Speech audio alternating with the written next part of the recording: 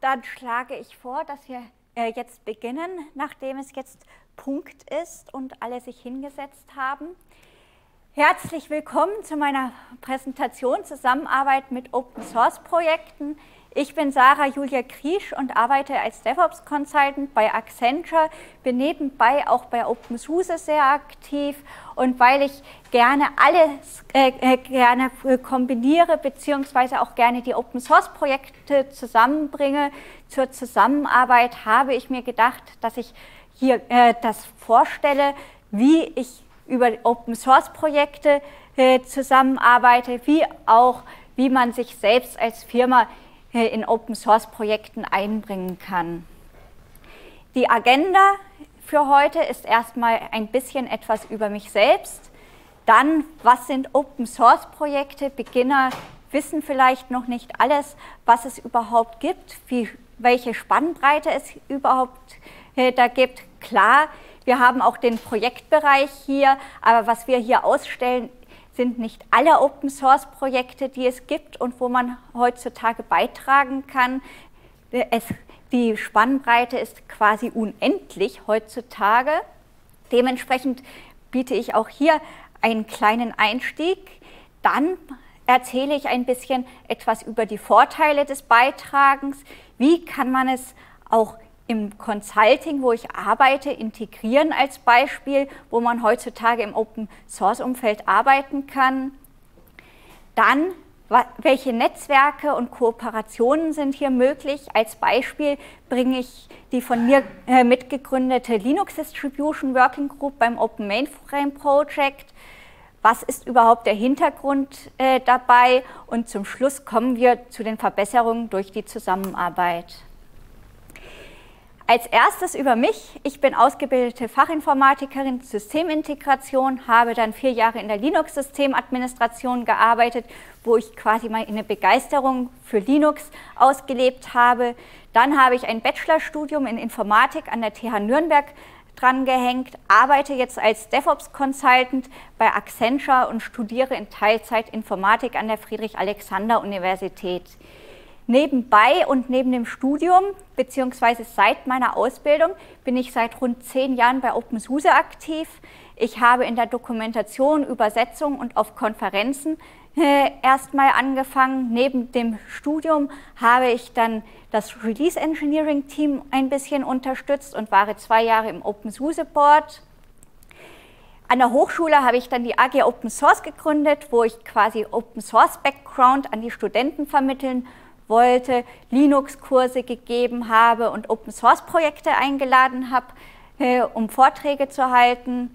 Nach der Bachelorarbeit habe ich eine kleine Reputation zum Release-Engineer für die Mainframe-Architektur S390X äh, bekommen, nachdem ich bei IBM meine Bachelorarbeit geschrieben hatte. So habe ich auch eine Kooperation mit anderen Linux-Distributionen auf die Beine gestellt und die Linux Distribution Working Group beim Open Mainframe Project gegründet. Linux, viele haben äh, hier sicher schon ein bisschen wegen dem Open Source Background auf der Frostcon äh, auch das Wissen, was alles für Linux-Distributionen auf dem Markt sind. Als Enterprise Linux-Distributionen gibt es Rails, Less und Ubuntu.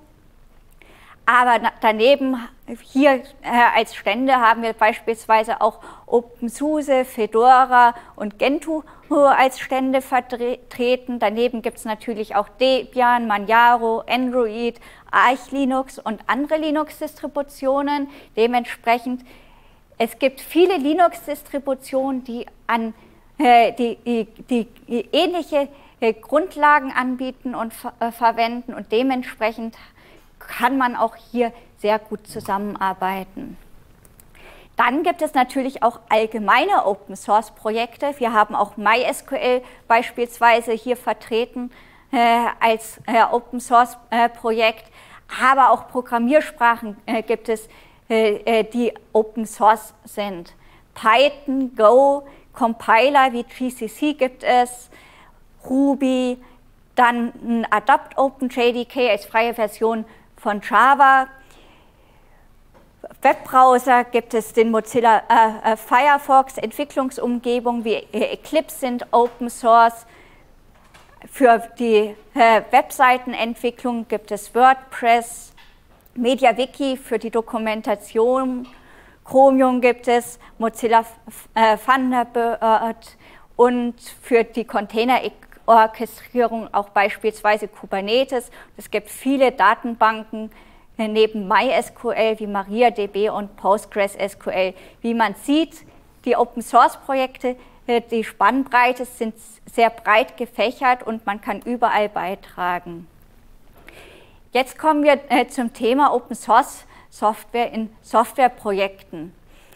Fast überall wird Open Source Software eingesetzt. Wir verwenden es auch in Enterprise-Umgebungen und wir vertrauen natürlich auch äh, äh, darauf, dass es äh, äh, weiterentwickelt wird und dass es funktioniert. Und es ist meistens sogar viel besser, als wenn wir äh, nur rein kommerzielle Software einsetzen, weil sich auch mehr Leute darum kümmern.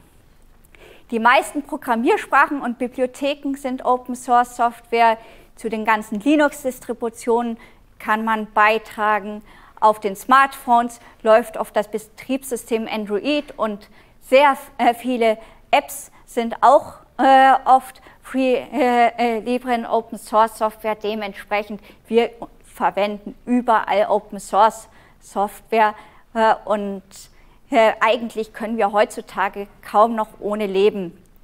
Parallel dazu, äh, wenn wir CI-CD-Systeme äh, verwenden und Pipelines erweitern, viele kennen Jenkins oder ähnliches, dementsprechend auch die CI-CD-Systeme können erweitert werden und auch bei dem top äh, modernen Word Cloud ja, auch die Public Cloud Provider äh, setzen als Grundlage auf Open Source Software, beispielsweise Kubernetes. Welche Public Cloud verwendet heutzutage äh, äh keine, kein äh, Kubernetes in der Public äh, Cloud? AKS, EKS, überall ist quasi äh, auch Kubernetes als Grundlage mit im Angebot. Und man setzt auf, als Grundlage auf das Open Source Kubernetes was sind die Vorteile des Beitragens, wenn wir quasi äh, auf Open Source setzen und auch selbst äh, dazu beitragen bzw. Open Source Software erweitern. Ich habe eben schon gesagt, der Vorteil im Vergleich zu kommerzieller Software ist, dass viele Leute beitragen, viele Unternehmen zusammen äh, agieren und auch die ganzen Volunteers zusammenkommen und damit ja, gibt es auch eine gemeinsame Verbesserung von Open Source Software. Parallel dazu ist, trägt es natürlich auch zur Weiterbildung und zum Teilen von Wissen auf Konferenzen bei. Wir haben uns hier alle zur Frostcon getroffen. Wir sind eine Open Source Konferenz. Hier teilen wir unser Wissen und bilden uns auch parallel in solchen Vorträgen weiter. Das trägt natürlich dann auch zur Talentförderung durch in die Investition in die Interessen der Mitarbeiter herbei. Was wäre, wenn wir uns hier nicht äh, äh treffen äh, äh, könnten und, die, äh, und eventuell auch nicht als Firmen äh, hier quasi uns weiterbilden könnten und unsere Mitarbeiter hierher schicken dürften. Dementsprechend können wir auch unsere Interessen weiterverfolgen und hier hinein investieren. Parallel vergrößern wir damit auch das Netzwerk mit Partnern und Volunteers. Viele Open-Source-Projekte werden von mehreren Unternehmen gesponsert und gefördert und dementsprechend kann man auch hier das Netzwerk erweitern. Die Volunteers, hier haben wir auch einige Volunteers, die hier aktiv sind an den Ständen. Die tragen natürlich auch beim Netzwerk äh, bei und die kann man dann hinterher eventuell auch rekrutieren. Und zusammen kann man auch gemeinsame Innovationen generieren. Hinterher die, äh, ist die Software auch in Kundenprojekten und privat wiederverwendbar. Wir haben beispielsweise äh, ein Framework erweitert. Dieses Feature ist nicht nur für ein Kundenprojekt nützlich, man kann es auch in der Zukunft bei anderen Kunden wiederverwenden. Dementsprechend äh, ist es auch für mich selbst und äh, für das Unternehmen eine Kostenreduktion und man steuert es quasi dann äh, äh, in den Projekten für alle bei, dass es wiederverwendbar ist. Was ich natürlich auch sehr genieße an den ganzen Konferenzen und den Communities, sind die Freundschaften über das Netzwerk und dass wir uns hier alle treffen können. Und dann kommt natürlich auch noch die, der weitere Vorteil hinzu, dass man dadurch ein bisschen bekannter wird, indem die Lösungen dann äh, der Offenheit bzw. allen Leuten zur Verfügung stehen. Ich habe jetzt äh, bei meinem Arbeitgeber auch die Integration in Consulting-Projekten äh, eingeführt. Dementsprechend die, wie ich schon sagte, der Open Source ist sehr breit gefächert. Neben Cloud gibt es beispielsweise auch Machine Learning heutzutage als wichtiges Themengebiet, womit man die Arbeitgeber äh, beeinflussen kann, damit man äh, äh, zu Open Source Projekten beitragen kann. Hier gibt es als Beispiel das Jupyter Notebook oder Kaffee oder PyTorch im Bereich Python. Ich habe schon gesagt, man kann CI-CD-Pipelines erweitern, beziehungsweise auch zu den ganzen äh, äh, Projekten, äh, halt den CI-CD-Systemen beitragen mit Plugins oder ähnlichen. Hier gibt es Jenkins, Travis, CI und Argo als Beispiel. Argo ist äh, quasi die Schnittstelle zu Kubernetes mit der Containerisierung. Hier habe ich als Beispielprojekte, äh, die es upstream gibt, Kubernetes und Helm mit reingebracht.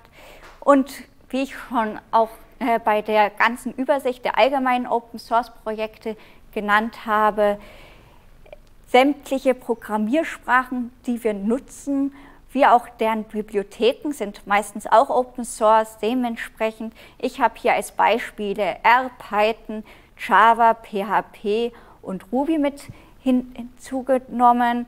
Natürlich alle anderen Programmiersprachen, die gerade auch reinkommen und modern sind, da kann man auch mitentwickeln. Auf jeden Fall die Spannbreite ist riesig in diesem Bereich, was man auch in Consulting-Projekten integrieren kann. Und wenn man eine Idee hatte, hat, was man vielleicht automatisieren will oder verbessern will, dementsprechend kann man auch die äh, Ideen, die für den Kunden sind, auch äh, zu Open Source beitragen. Von da kommen wir dann zur Open Source Entwicklung. Die meisten von uns äh, kennen auch schon die Codeverwaltung mit Git. Git ist ein Open Source Projekt von Linus Torvalds und die, die meisten Open Source Projekte haben GitHub oder GitLab als äh, äh Orte der Verwaltung äh, ihres Codes. Die meisten, äh, die Beiträge gehen dann über Pull Requests auf GitHub beziehungsweise auch Merge Requests bei GitLab und dementsprechend kann da dann jeder, der sich einen Account erstellt hat, beitragen. Die Tests sind dann mit integrierter CI-CD-Pipeline, das heißt, wenn man beiträgt, gibt es auch automatisierte Tests. Und die Linux-Distributionen, beispielsweise OpenSUSE oder Fedora, die hier äh, auch ihre Stände haben, die haben zusätzliche Bildumgebungen zur Paketierung. Die Tests, äh, die da überall laufen, die sind auch für unterschiedliche Architekturen äh, vorhanden. Das heißt, äh, GitHub hat im Hintergrund beispielsweise für x86, ARM wie auch für Mainframes die S390X-Architektur dann Maschinen am Laufen, die man auswählen kann und dann kann man da auch Tests drauf laufen lassen.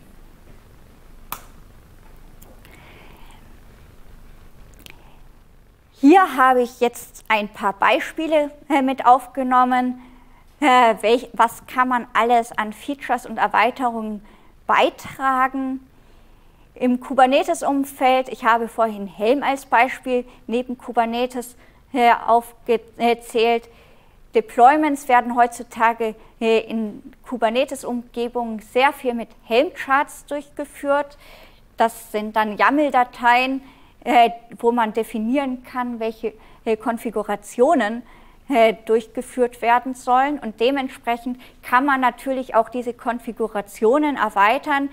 Will man irgendeine spezielle Konfiguration zur Hochverfügbarkeit oder äh, zur Skalierung mit dabei haben, dann kann man die natürlich beitragen und die ganzen YAML-Files erweitern, so dass die Helm-Charts äh, nützliche Features äh, äh, neu dazu bekommen und dementsprechend kann man dazu auch beitragen. Ähnlich ist es auch mit den Kubernetes-Operatoren. Kubernetes-Operatoren fangen natürlich mit den Grundlagen an und wenn neue Features hinzukommen sollen, zur Konfiguration, dann kann man die natürlich auch beitragen. Die Kubernetes-Operatoren sind meistens auf GitHub. Und bei den Frameworks, äh, die ganzen Entwickler unter uns, äh, wenn ihr irgendwie mal äh, stöhnt, dass irgendein Feature in, im Entwicklungsframework fehlt, da kann man natürlich auch beitragen. Die Frameworks freuen sich über neue Ideen und dann CI-CD-Pipelines, fehlt irgendein Plugin, dann äh, entwickelt man es und der Vorteil für alle ist dann, wenn es auch öffentlich verfügbar ist. Bei den Linux-Distributionen sollte man sich erstmal überlegen, äh, soll das Upstream äh, sein oder bei der jeweiligen Linux-Distribution, wenn irgendein Softwarepaket fehlt, wenn das Softwarepaket fehlt, dann trägt man natürlich zur Linux-Distribution bei. Ist es irgendein Feature, was im Paket fehlt, dann trägt man zur jeweiligen Software auf GitHub oder GitLab dann bei. Wer sich nicht so sofort an die Linux-Entwicklung oder Open-Source-Entwicklung traut, man kann heutzutage auch sehr viel mehr beitragen zu, äh, zu Open-Source-Projekten. Wir, als ich das erste Mal bei einer Java User Group äh, war, da gab es extra Vorträge von den Java-Entwicklern persönlich und die haben uns aufgefordert, legt euch GitHub-Accounts an, um eigene, um Features vorzuschlagen. Wir brauchen Feature Requests. Ja, die Open Source Projekte, äh, äh, äh, die nehmen auch Feature Requests an und freuen sich, äh, wenn sie neue Aufgaben bekommen. Dementsprechend für Anfänger, die äh, die ganzen Frameworks und Programmiersprachen nur verwenden ja, und sich nicht direkt an die Programmiersprachen selbst herantrauen, die können auch Feature Requests erstellen. Das gleiche gilt natürlich auch für Bug Reports. Wenn ihr Fehler habt äh, bzw. irgendetwas findet, dann solltet ihr äh, das auch im Bug-Tracking-System des jeweiligen Open-Source-Projekts äh, dann melden, damit es gefixt werden kann. Meldet man es nicht, wird, werden die Fehler eventuell gar nicht behoben. Was man sonst noch ma machen kann, so wie ich es früher gemacht habe als Anfänger, man kann auch zur Dokumentation beitragen. Die Dokumentation lebt davon, äh, äh, dass äh, Benutzer der also jeweiligen Software dann zu den Open Source Projekten bei der Dokumentation beitragen und diese dann erweitern und aktuell halten. Genauso kann man zur Übersetzung beitragen. Wir haben alle äh, unterschiedliche Übersetzungstools, wo man dann die ganzen Programme oder die Dokumentation übersetzen kann. Man kann den Code äh, verbessern und strukturierter machen und nachher wird es auch einen Vortrag beispielsweise über die OpenSUSE-Infrastruktur geben von Christian äh, Bolz. Man kann auch zur Systemadministration bzw. Infrastruktur beitragen. Wer maintaint die Infrastruktur der ganzen Open-Source-Projekte? Hier bra braucht man auch Volunteers und man muss nicht unbedingt programmieren können. Da gehört zwar auch ein bisschen Automatisierung dabei, aber auch Automatisierung ist heutzutage Teil der Systemadministration. Jetzt äh, komme ich ein bisschen Richtung Kooperation zwischen den unterschiedlichen Linux-Distributionen und was wir alles äh, den anderen Linux-Distributionen von OpenSUSE anbieten. Ah, ich äh, sehe gerade, ich habe da aus Versehen äh, jetzt das auf Englisch äh, drin, aber halb so schlimm. Der Open Build Service ist ein Subprojekt von OpenSUSE und es ist ein Tool zum, zur Generierung von ISO-Images, Paketen und von Container-Images. Und das passiert dann alles automatisch. Es hat dann auch eine integrierte CI-CD-Pipeline und äh, die äh, URL von unserem eigenen Open Build Service ist build.opensuse.org und man kann sich es natürlich auch selbst installieren. Die Software äh, und die Dokumentation gibt es unter openbuildservice.org. Wir verwenden es hauptsächlich zur Paketierung bzw. Äh, Generierung von unseren ganzen ISO-Images, aber dieses Tool ist auch für die meisten Linux-Distributionen nutzbar. Dementsprechend kann man es nicht nur für OpenSUSE oder SLES verwenden, es werden auch RHEL, Ubuntu, Fedora, Debian, Univention, äh, Linux, Raspbian, CentOS, CentOS Stream, Magaya, Arch Linux und Scientific, Scientific Linux äh, in, inzwischen unterstützt. Man kann es natürlich auch für viele andere Sachen verwenden. Wir haben äh, auch zur Auswahl zusätzlich IBM Power äh, KVM und App Image. Dementsprechend kann man für unterschiedliche Software auch hier Pakete äh, äh dann erstellen. Und es ist nicht nur x86 im Hintergrund, man kann auch äh, die Mainframe-Architektur S390X, PowerPC, hier Arch 64, ARM V6L und ARM V711 äh, verwenden. Das heißt, wir haben im Hintergrund beim Open Build Service von OpenSUSE die ganze Hardware äh, im Rechenzentrum bei SUSE stehen und wir bauen auch wirklich basierend auf diesen Architekturen. RHEL hat hier eine Ausnahme. Die, äh, Community Subscription gibt es nur für x86, aber den Rest soll, sollte äh, man auch auf den anderen Architekturen bauen können. Von hier aus kommen wir jetzt zu meinem Spezialgebiet, nachdem ich für die Mainframe-Architektur zuständig bin, die Netzwerkkooperation am Beispiel von Z-Linux. Wie kooperiert man als Community zusammen? Viele wissen hier äh, schon, Fedora ist das Tochterprojekt äh, von äh, Red Hat. Dementsprechend kooperiert natürlich als Enterprise-Distribution Red Hat mit Fedora. Unser OpenSUSE-Projekt ist das Tochterprojekt von SUSE. Dementsprechend basiert SLES äh, auf OpenSUSE und Ubuntu ist bekannt, dass es auf Debian basiert. Wir tragen alle zur Upstream-Entwicklung bei. Dementsprechend, wie ich es vorhin erklärt habe, wir verwenden äh, die ganzen GitHub äh, und GitLab Upstream-Projekte, integrieren es in unsere Linux-Distributionen als Grundlage und die Enterprise-Distributionen nehmen unsere Grundlagen auch auf, was wir als Volunteers mitentwickelt haben, die entwickeln mit uns zusammen und dementsprechend basieren die ganzen Enterprise-Distributionen auf den Community-Distributionen. Aber in diesem Fall habe ich hier auch noch diese Pfeile dazwischen eingebaut. Es gibt Leute, die tragen zu mehreren Linux-Distributionen bei, weil sie sich auch beispielsweise sagen, ich äh, entwickle an einem speziellen Paket bzw. einem speziellen Upstream-Projekt, warum soll es nicht für alle Linux-Distributionen verfügbar sein?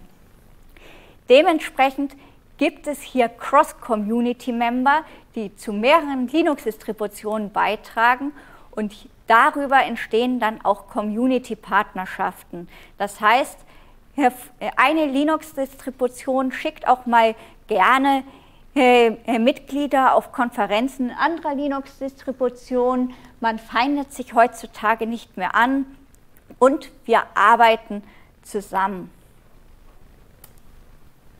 Von da kommen wir jetzt zu einem Open Hardware Projekt. Es gibt nicht nur Open Software Projekte, es gibt auch Open Hardware Projekte, das Open Mainframe Project.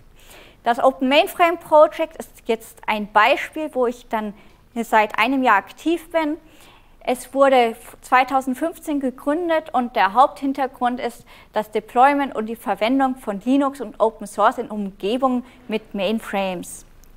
Dieses Projekt wurde von IBM gegründet und ist jetzt Projekt unter der Linux Foundation. Aber was ist ein Mainframe?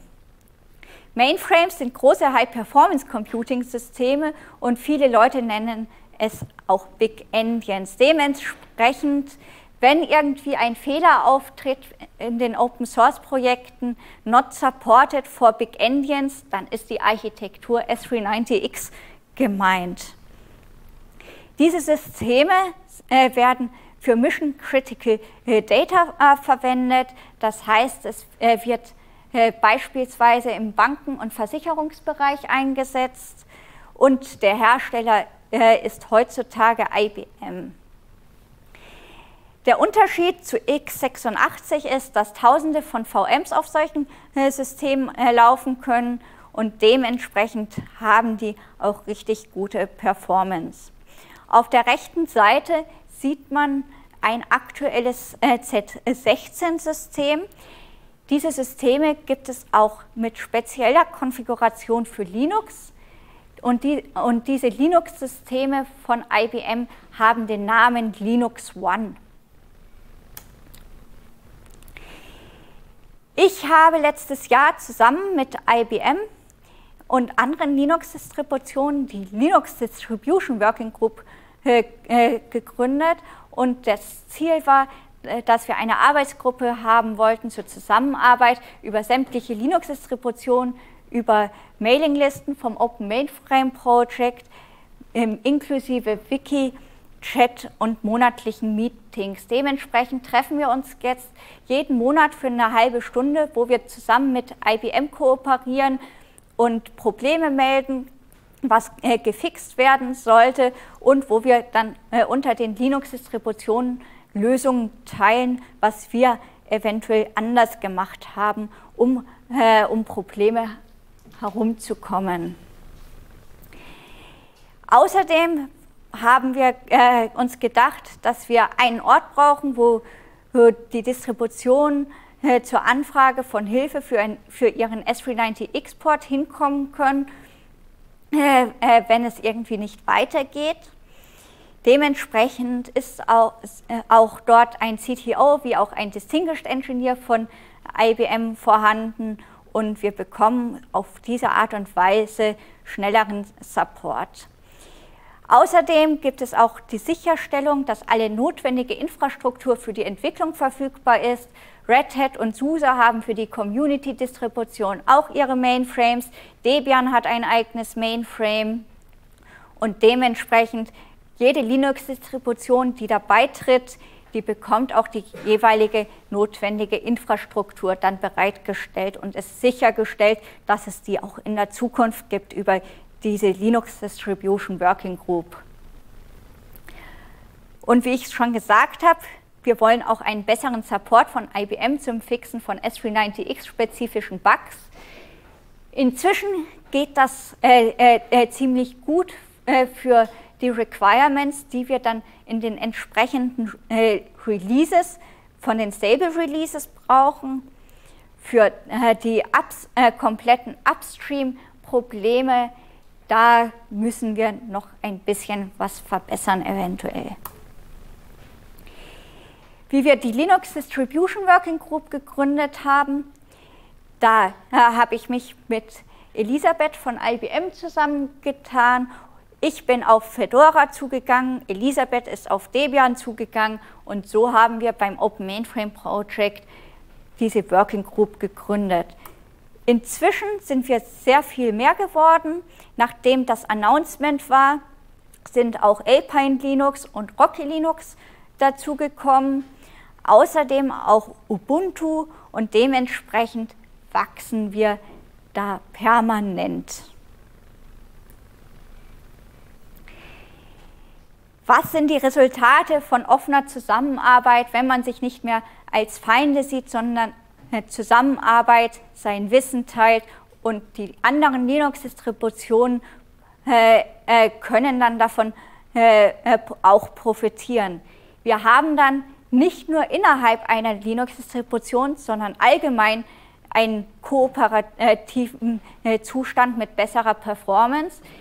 Wir generieren damit auch einen Approach für alle. Das heißt, wenn jemand äh, für seine Linux-Distribution einen Workaround als Patch hat, dann teilt er ihn äh, mit den anderen und die Spec-Files sind heutzutage auch ziemlich ähnlich geworden. Das heißt, man kann, sie, kann sehr viel auch transferieren und dementsprechend kommt es auch zur besseren Performance. Wir teilen die Arbeit und unsere Lösung und dadurch entsteht eine Kooperation und auch Offenheit gegenüber den anderen. Wir haben auch so eine Heterogenität der Teilnehmenden. Jeder steht hinter seiner Linux-Distribution, beziehungsweise dass es äh, äh, auch äh, dort vorangeht, weil wir unterschiedlich denken und äh, dann für alle äh, Linux-Distributionen gemeinsam dastehen, ist es natürlich auch ein bisschen Life-Giving. Wir haben eine gemeinsame Pflege, ta tauschen uns einmal im Monat aus und können uns gegenseitig verbessern. Dadurch entsteht eine Kooperation als Interaktion und durch die unterschiedlichen Denkweisen haben wir auch Diversity integriert. Von dort aus kommt man von der offenen Zusammenarbeit auch zur Innovation. Hier habe ich auch ein Forschungspaper von 2014 äh, äh, referenziert, Open Collaboration for Innovation. Wir bringen unterschiedliche Sichtweisen hinein, haben einen offenen Zugang zum Beitragen und das dann auch bei allen Open Source Projekten, weil wir mit anderen Open Source Projekten upstream wie auch quer zu den anderen Linux-Distributionen kooperieren. Es gibt durch die monatlichen Meetings Interaktion und Austausch. Wir generieren wirtschaftliche Werte für alle und dadurch gibt es auch eine bessere Entwicklungserfahrung. Was für mich neu war, war das Thema Collective Intelligence, die kollektive Intelligenz. Das steht dafür, dass man mehr äh, Wissen äh, sich aufbaut durch das äh, äh, Teilen von Wissen und dementsprechend auch breiteres Wissen dann zusammen hat. Wie geht es dann aber, äh, wenn man als Communities bzw. Open Source Projekte zusammenarbeitet, wie geht das dann mit Firmen und Open Source Projekten? Ich habe schon vorhin ein bisschen was angesprochen in die äh, Richtung, äh, wie man es in Consulting-Projekte integrieren kann, aber es gibt ja auch Unternehmen mit produktspezifischen Anforderungen und ähnlichen. Und wie läuft es dann mit dem Sponsoring von Beiträgen oder Maintenance? Hier habe ich ein bisschen Best Practices zusammengeschrieben. Einmal gibt es die Möglichkeit, dass es eine feste Anzahl an Stunden von Arbeitszeit für Open Source Projekte äh, geben kann. Das nennt sich dann Plus 1 Zeit. Dementsprechend gibt es dann vier Tage pro Woche für die normale Arbeit und einen Tag beispielsweise oder weniger äh, äh, für Open Source Projekte, wo man dann Beiträgen, beitragen und Sachen pflegen, weiterpflegen darf. Dann gibt es die Möglichkeit vom Volunteering während der Arbeitszeit. Das heißt, man schaut, was äh, äh, passiert alles im Projekt, was brauche ich gerade während der Arbeit, also trage ich es als Teil der Arbeitszeit bei. Das ist, kann natürlich äh, erlaubt sein. Meistens gibt es hier dann Zusatzverträge. Ich, an der FAU habe ich jetzt äh, einen, äh, unter, einen Kurs absolviert, wo beispielsweise Audi zu Gast war. Die haben dann Zusatzarbeitsverträge, damit die Mitarbeiter dann beitragen können und dann dürfen sie auch während der Arbeitszeit zu Open Source Projekten beitragen. Dann gibt es die Möglichkeit, dass man Innovationsideen als Projekte fördern kann. Das heißt, man kriegt dann die Projekte genehmigt und darf dann ein, zwei Wochen zu Innovationsprojekten oder länger beitragen. Man kann für Konferenzen freigestellt werden. Dann gibt es die Möglichkeit der Integration von, wieder, von wiederverwendbaren Beiträgen als Teil von Kundenprojekten. Das muss dann natürlich auch von den Kunden genehmigt werden, damit es Open Source Software werden darf. Und zum Schluss gibt es noch die Möglichkeit, dass es keine Überstunden und dafür die Förderung von Engagement in der Freizeit plus Sponsoring dafür gibt. Da kommt ein bisschen das äh, moderne 35-Stunden-Woche als Beispiel mit rein, dass man eine reduzierte Arbeitszeit bekommt und dann beitragen kann in der Freizeit oder äh, dass man an Community-Meetings dann äh, teilnehmen darf während der Arbeitszeit. Jetzt sind wir schon am Ende vom Vortrag. Ich hoffe, ich konnte ein bisschen Einblick bringen, wie man mit Open-Source-Projekten zusammenarbeiten kann, egal ob als Firma oder untereinander. Dieses Mainframe, äh, äh, Open Mainframe Project war nur ein Beispiel. Das kann man natürlich auf sämtliche andere Projekte auch übertragen und dann auch anwenden. Gibt es noch Fragen?